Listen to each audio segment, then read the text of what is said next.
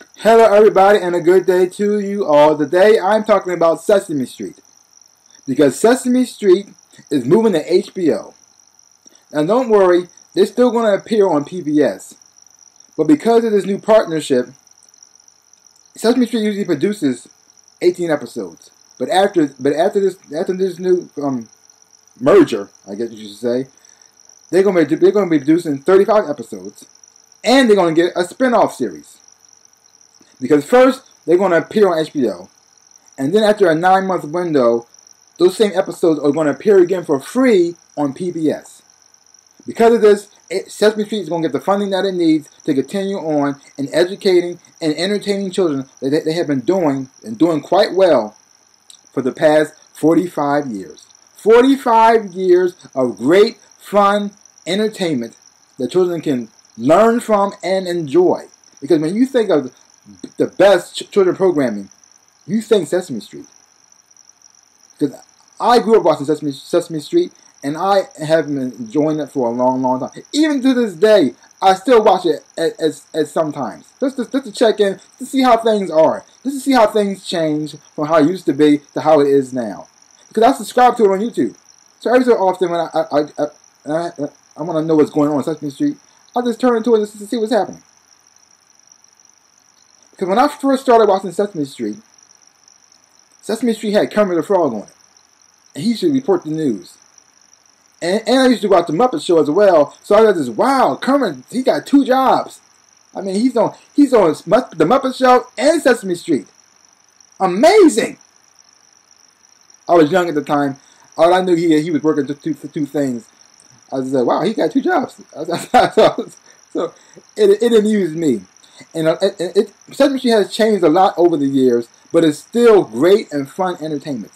And to think that a, a world where Sesame Street does not exist anymore kind of scares me.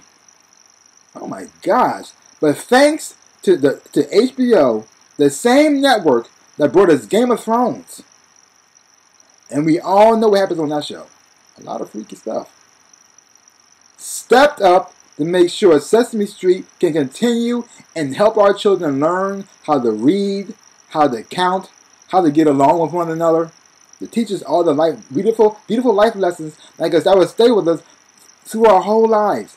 I mean, even to this day, songs from Sesame Street still stick with me. Every so often, this happens every so often, this song pops into my head. 1, 2, 3, 4, 5, 6, 7, 8, 9, 10, 11, 12. No matter what it happens, no matter where I'm at, that song will pop in my head. Next thing you know, I'm singing it. I'm pretty sure some of you probably still, to this day, how much, how much song for Sesame Street you heard, or sing a song you heard for Sesame Street. Maybe you do, maybe you don't, but I know I do. And thanks to HBO, we're still going to get this show. Because, like I said before, boy, having, having Sesame Street gone Oh my God, that would be a, a huge loss for so many children. So leave your comments down below. Let me know what you thought about Sesame Street. Do you love it? How, how much how, how much a part of life was it was it for you? And how did it help mold you into the person you are today? Leave your comments down below. I'm also going to leave a link down to the to um to the to the article that shows you more in depth about what the, the, the, partnership between HBO and Sesame Street.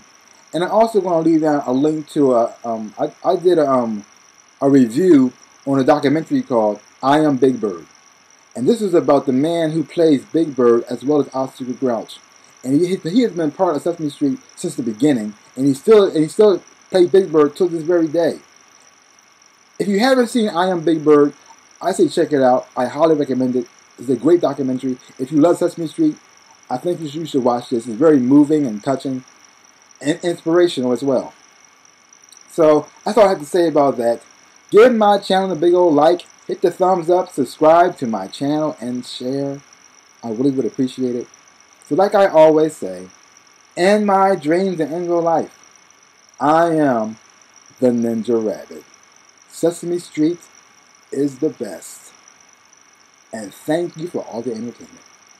Peace out, people.